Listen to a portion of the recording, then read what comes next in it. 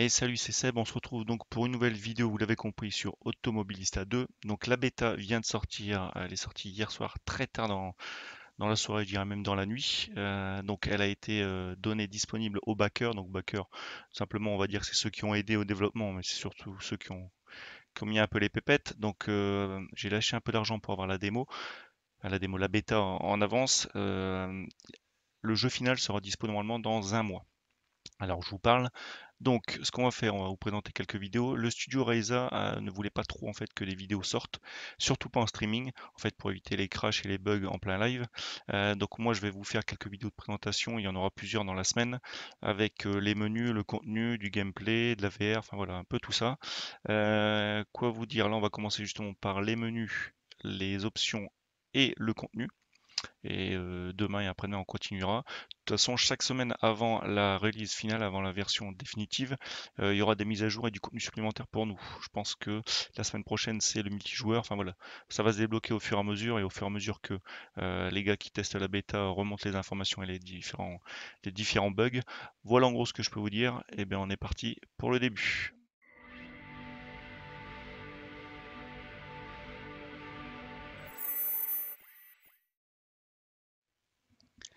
Allez, donc on est parti pour la présentation vite fait de la page de menu. Donc vous voyez déjà on a accès au single race, test day, le championship n'est pas disponible, le multiplier non plus et le time trial non plus. Donc on a automobilista 2, ici on revient au menu, ici on a notre tag, pareil on a accès à rien du tout. Voilà, donc là c'est assez sommaire, c'est assez clair, a des vignettes, il n'y a pas de souci. On va commencer à aller dans les options. C'est parti. Donc au niveau du gameplay, le gameplay. Ah oui, le petit, son, vous l'entendez? Voilà, donc ici, euh, là c'est tout ce qui comprend l'affichage, donc rien de particulier pour l'instant. Il me semble, si je ne me trompe pas, encore une fois j'ai testé hier soir très tard, euh, je referai de toute façon euh, d'autres vidéos par la suite et je corrigerai mes dires si jamais il y a des soucis.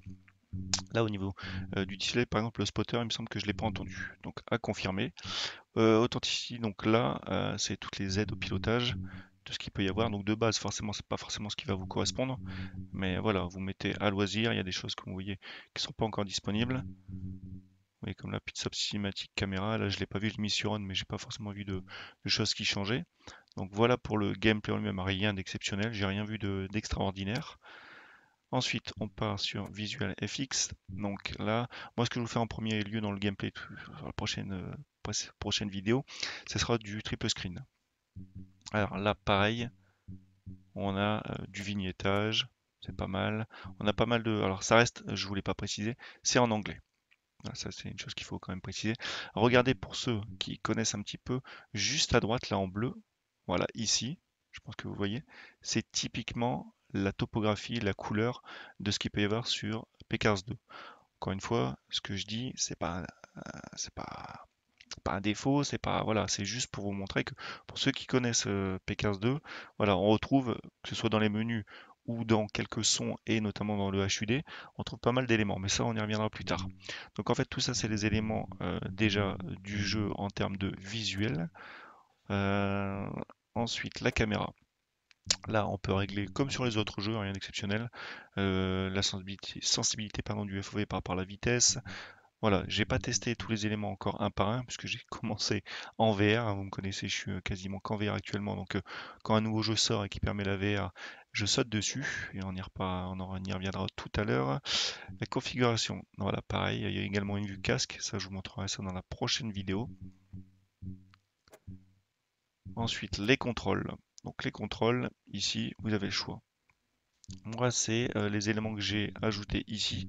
Vous devez d'abord choisir le type. Donc, il y a wheel, gamepad, clavier souris, clavier. Moi, j'ai choisi wheel, legacy. J'avais vu un peu sur le, sur le forum de, de, Reiza qui préconisait certains types de préconfiguration. Moi, j'ai essayé de faire à ma sauce. Euh, et ça marche plutôt pas mal. on n'a pas encore le, ressenti optimal parce que moi j'ai un, un AcuForce, euh, le logiciel n'est pas encore optimisé parce qu'il y a des plugins qui sortent pour chaque jeu. Là en l'occurrence c'est pas encore le cas. Donc voilà, on a le, la préconfiguration générique de euh, votre équipement, en sachant que chez moi pour l'instant tout a été reconnu, que ce soit au niveau de l'AcuForce, au niveau euh, du V3 Fanatec, au niveau de la boîte de vitesse, au niveau de la boîte à boutons, une DSD. Généralement là tout a été reconnu, donc ça c'est déjà pas mal. Configuration, pareil, l'angle mort, j'y ai pas touché, j'ai l'angle mort. La zone morte, j'ai juste mis un peu de zone morte parce que j'ai un peu de, de tremblement dans la ligne droite au niveau du volant. Mais encore ça une fois, je peux pas juger pour l'instant, c'est pas encore vraiment définitif. On vient juste de commencer à toucher. Là ici, bah, forcément c'est l'assignement des touches au niveau du volant, des pédales, tout ce qui est analogique du véhicule, donc démarrage, le moteur, les lumières, les essuie-glaces, le DRS, assistance, si vous voulez ajouter des, aides au pilotage, la caméra, donc là vous voyez ici j'ai rajouté la, la, réinitialisation de la vue VR et donc je voilà. Voilà en gros je vous laisserai faire pas si vous voulez voir plus de, choses au niveau de la force feedback, voilà pareil, encore une fois sur le forum Reza, il y a des choses qui sont préconisées. Moi je commence à tâtonner à voir ce qui correspond le mieux à mon, à mon ressenti sur mon, sur mon volant, parce que forcément, je ne vais pas dire que la Q-Force pardon, le moins répandu, mais il y aura peut-être moins de réglages que par rapport à un DD1 ou DDE, DD2 pardon, de chez Fanatec. Voilà en gros pour la partie contrôle au niveau performance. Voilà. Donc on a le choix, pareil, au niveau des résolutions. Peut aller jusqu'à 5760 et 5780. C'est bizarre, il me propose du 100 Hz sur euh, du 75 et du 60 pour les, autres euh, résolutions, mais sur ma résolution principale, il ne propose pas. Bref, donc il demande si on veut être en fenêtre ou non. Voilà, la V-Sync, ça c'est ce qui est mis de base. Il n'y a pas de, réglage automatique. Voilà, donc je vous ferai un test de, encore une fois, high et low au niveau des réglages. Pour l'instant, j'ai laissé comme ça, ça tourne très très bien. Il n'a pas l'air d'être euh, plus gourmand que ça, donc ça c'est vraiment une bonne chose. Et au niveau de l'audio, voilà, pareil, on peut régler. Et on choisit en fait, comme sur les autres jeux, le, la carte de sortie, en fait, la carte son de sortie. On veut balancer tout le son. Voilà, donc, je vous dis encore une fois, hein, dans les menus pour l'instant, il n'y a rien d'extraordinaire. C'est pas non plus le, le principal. Alors on va aller tout de suite dans Single Race. Voilà, voilà le cœur de, de la chose. Alors, on va commencer par Race Setting. On peut choisir la durée en tour ou en temps. On peut choisir une date précise. On peut choisir le début. Voilà. La vitesse du temps, de progression du temps. La saison. Pareil, j'ai pas encore fait tous les essais. Les slots, donc là vous retrouvez plus ou moins les slots comme sur euh. Alors on va voir ce qui est disponible. Pareil, pour ceux qui ont eu Pcars 2, vous retrouvez exactement, si je ne me trompe pas, les mêmes vignettes. Regardez. Là, c'est du copier-coller, hein, je vous dis tout de suite. encore une fois, c'est pas une critique. Je vous montre un peu ce que je vois par rapport à mon expérience, ce que j'ai vu dans, l'autre jeu, notamment Pcars 2, parce qu'on reprend le moteur graphique. Voilà, c'est le même. Est-ce qu'on peut avoir une progression de la météo?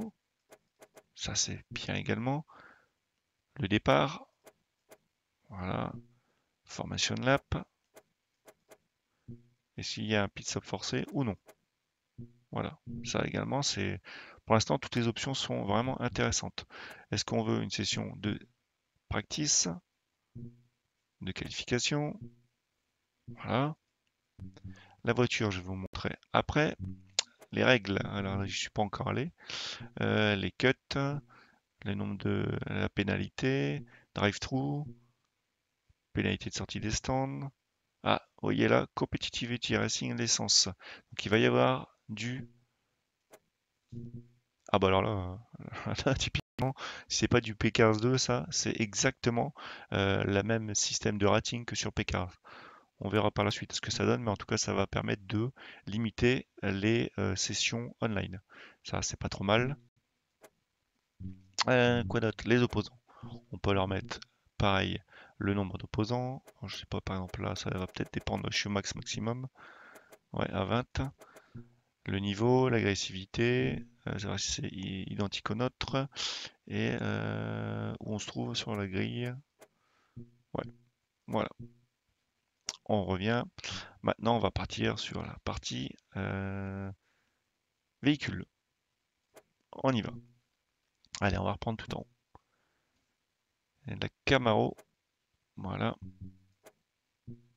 Alors encore une fois, voilà, le design, en tout cas des bagnoles, c'est pas ce qui se fait de mieux, on est d'accord. Ça reste des vignettes et on est d'accord pour dire que au niveau graphique, c'est pas ce qui va faire la force peut-être, en tout cas dans les menus de, pour l'instant, en tout cas des MS2. Alors, de la Caterham.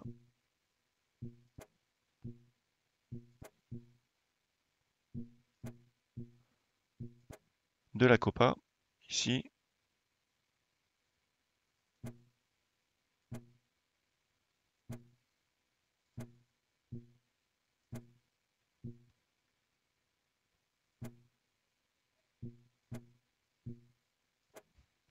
de Coupa Uno, attention. La Dallara. Formule classique. Ça, c'était présent également sur MS1.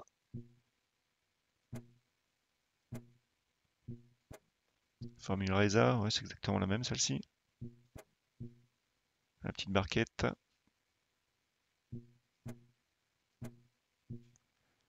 La Formula Ultime, la V10, la V12, on descend,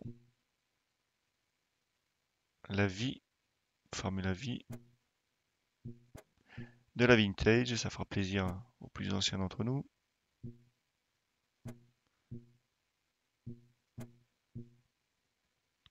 Celle-là, je vous dis clairement, elle est sympathique, l'Ultima GTR Race. Le petit karting qui était présent également sur MS1.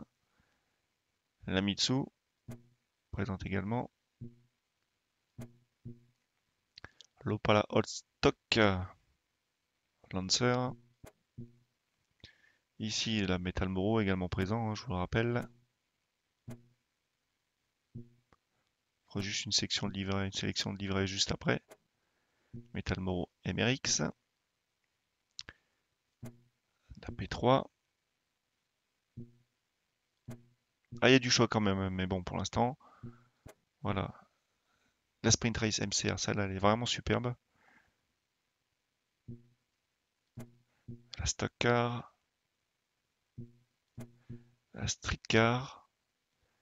On arrive bientôt à la fin du Super Kart. Et enfin, les Super V8. par exemple, on va prendre Super V8, on va essayer d'aller voir ce que ça donne. il y a quand même pas mal de livrets.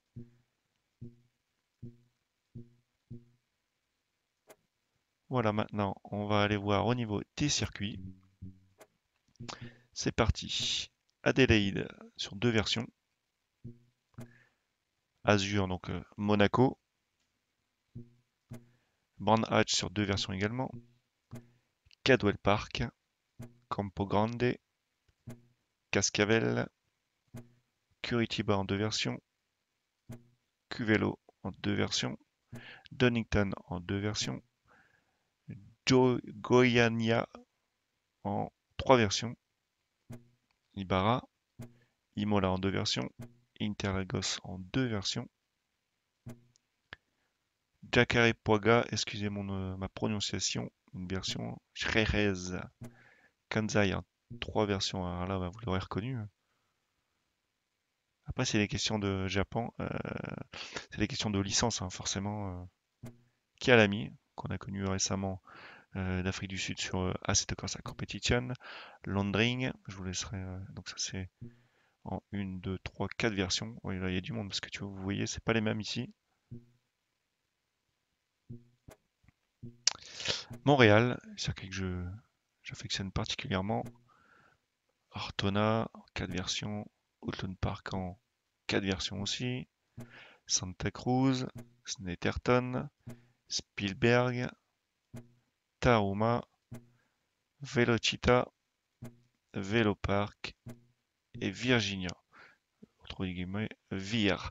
Vous voyez, il y a quand même pas mal de monde. Il y en a d'autres qui vont arriver. C'est d'ores et déjà dans la roadmap, c'est prévu. Il y a du free, il y a du payant. Enfin voilà, c'est en gros euh, tout ce que je peux vous présenter. On a fait le tour, en gros, euh, des circuits, du contenu, Euh, rien de plus à ajouter sur cette première partie. Encore une fois, si c'est pas fait, n'hésitez pas à vous abonner et à mettre la petite cloche pour être, pour être en tout cas euh, notifié des suivantes vidéos que je vais sortir à ce niveau, en tout cas d'AMS et des prochains jeux. Donc voilà en gros, alors rien d'extraordinaire, c'est juste la présentation du contenu, des menus, voilà ce qu'il y a euh, pour la sortie de la bêta. Euh, n'hésitez pas à échanger au niveau des commentaires, me dire ce que vous avez comme question. Euh, et puis bah moi je vous laisse là-dessus. Je vous dis à une prochaine, bonne journée, bon week-end, salut